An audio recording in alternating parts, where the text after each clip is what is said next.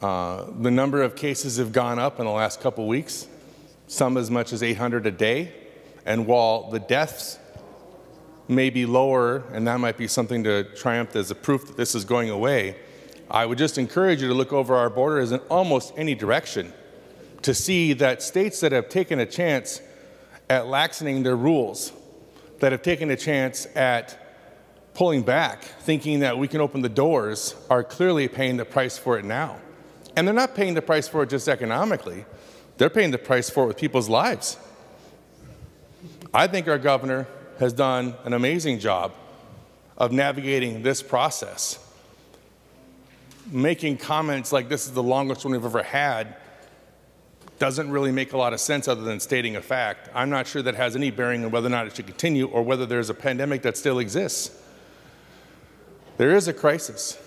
We have a real problem right now. And our, and our state, in many ways, is a bit of an outlier right now in how low it is, which is a testament to the efforts by our governor and members of both parties in making the right choices for our state.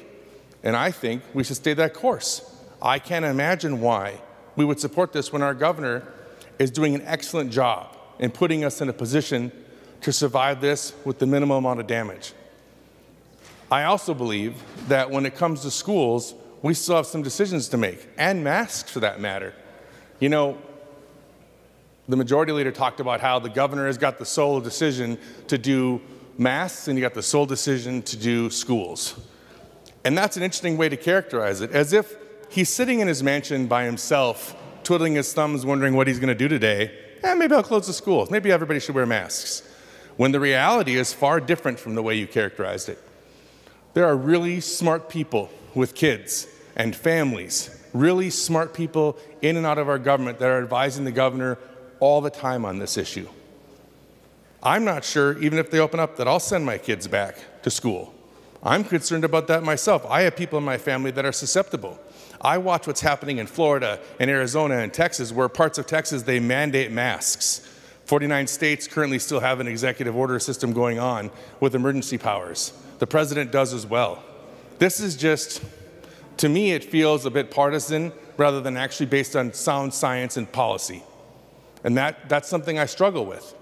I don't understand in this situation why this is the thing that we'd be focused on when there are so many more important issues right now facing us about bonding, police reform, those kinds of things. So I'm, I'm just profoundly disappointed.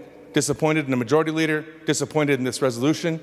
I expect more of us, and I hope that we find ourselves in a position down the road where we can make some real choices and do some real good for our state instead of arguing about whether or not we think the governor is too powerful when he's still acting well within the mandate of our Constitution, well within the mandate of the legislature, and the way our citizens act. And by the way, just takes a quick Google search to know how the citizens of Minnesota feel about how he's doing. It's pretty good.